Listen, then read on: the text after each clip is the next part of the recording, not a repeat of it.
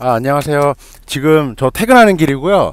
어, 지금 한 동부 시간 5시 반 정도 됐고, 음, 오늘 말하고자, 아, 오늘, 아, 그 UPS에 아마존 리턴할, 그, 뭐야, 환불할, 그, 뭐 반송 보내는 거 있어가지고요.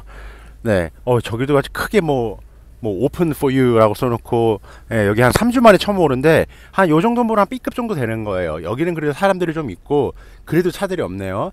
네, 저기 자이언트라고 그 슈퍼마켓인데요. 네, 그냥 동네에 있는 마트라고 보면 될 것 같아요. 여기 사람 원래 이 시간에 많은데 사람이 없어요. 네, 마스크 많이 쓰고 다니네요. 네, 저기 또 주유소인데 오늘은 1불 95센트 1갤런에 아, 제가 동네 소개해드리려고 녹음한 거 아니고 아 죄송합니다. 목소리 크게 다 보니까 목이 빨리 이렇게 되네요.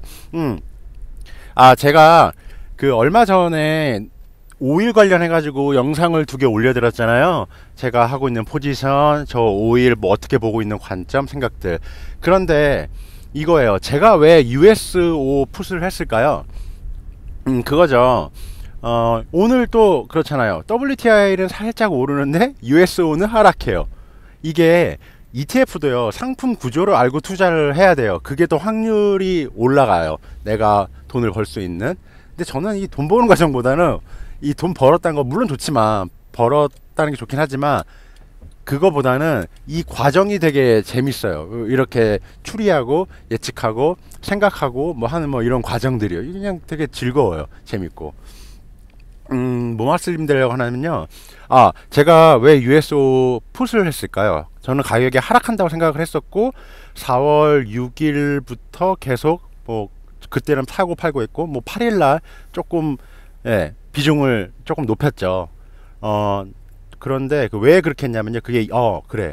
ETF 그 상품 구조를 알아야 돼요. 자, 일단 USO라는 게 ETF인데요. 왜 WTI를 보고 하면 안 되냐면요. 얘는 기본적으로 두 달치 선물을 가져가요. 그러니까 예를 들어서 요번 5월 달 그 crude oil 만기가 4월 20인가 21일이에요. 그러면은 이 ETF 구조 그 읽어보면요. 그게 나와요. 그 14일 전에 내가 지금 그 5월물 지금 6월물 갖고 있어요. 그러면은 그 5월물을요 7월물로 옮겨요. 그러니까 나는 6, 6월물 반, 7월물 반이 되는 거예요. 언제부터? 만기 14일 전에 그 전에 다 옮겨요. 그러니까 14일 고쯤 그러니까 14일 되면 당연히 6월 7월이고 지금 그래서 쉽게 얘기해서 지금 USO는요 5월물 하나도 없어요. 6월물 반, 7월물 반이에요. 그렇게 한 달 한 달씩 옮기는 거예요. 그러면 USL은 뭐냐? 얘는 12개월치를 가져가요.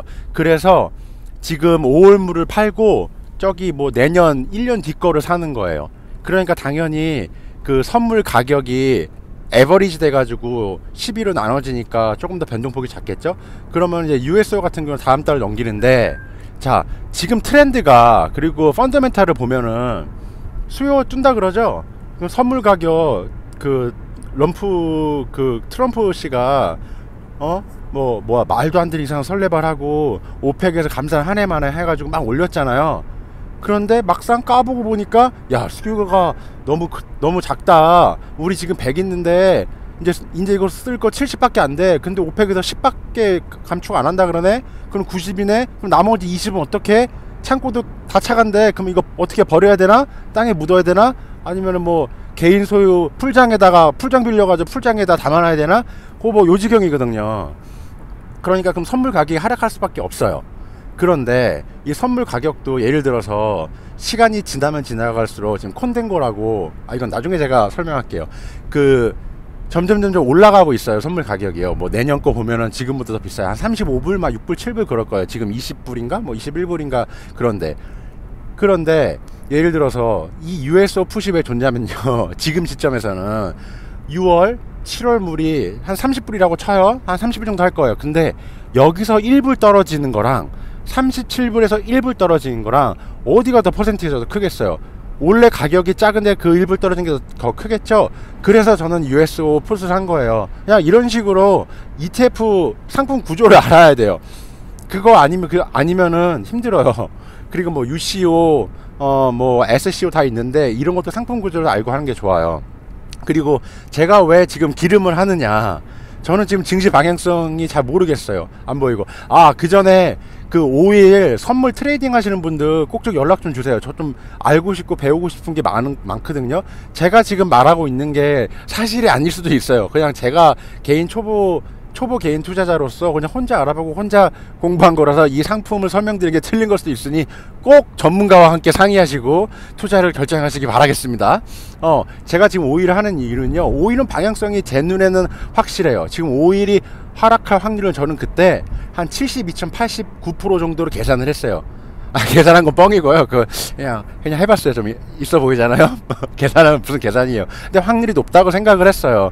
그리고 제가 요즘에 왜 5일을 최근에 했느냐? 어, 그 이유는 증시 방향성이 안 보여서 그랬어요. 최근까지 한 3월 23일 날 저점 찍고 올라왔잖아요. 그때도 저는 그게 바닥인지 잘 모르겠더라고요. 근데 제가 운영하는 방이 하나 있는데 뭐 되게 한두 명하고 방도 아니에요. 그냥 뭐 친목 동호회식으로 한두 명 분하고 하고 있는데 제가 분명히 말씀드렸어요. 4월 3일 금요일 날 2시부터 종가까지 이 정도면 살만하다고 다음 주에 상승 단기적으로는 상승할 거라고 본다고 라고 해서 어 그분들이 뭐 사셨는지 모르겠지만 뭐 저는 저의 뜻대로 언행일치를 했고요. 네, 저의 그림대로 그렸어요. 음, 그런데 지금은 증시가 저 개인적으로 봐서는 어떻게 될지 모르겠어요. 뭐 리세션이 올 수도 있겠고 뭐 다 반영이 될 수도 있겠고 적어도 지금 이 시점에서는 과매도는 아니지 아 과매수는 아니지만 올라갈 그 공간은 있지만 내려올 공간도 있거든요. 그래서 제가 5일을 거래했어요. 네, 안녕히 계세요. 네, 좋은 하루 되시고요.